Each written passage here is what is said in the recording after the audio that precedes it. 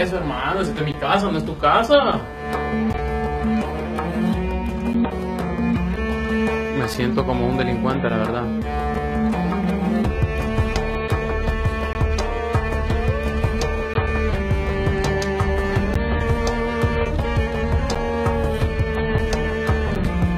Cuando eran goles raros, uno sospechaba.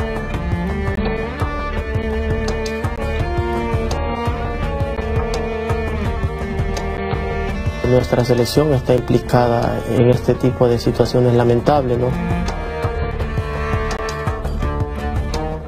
Se burlaron de nosotros, jugaron con la nación. Siento indignación. Nunca sentí el valor necesario para poder defender a mi país.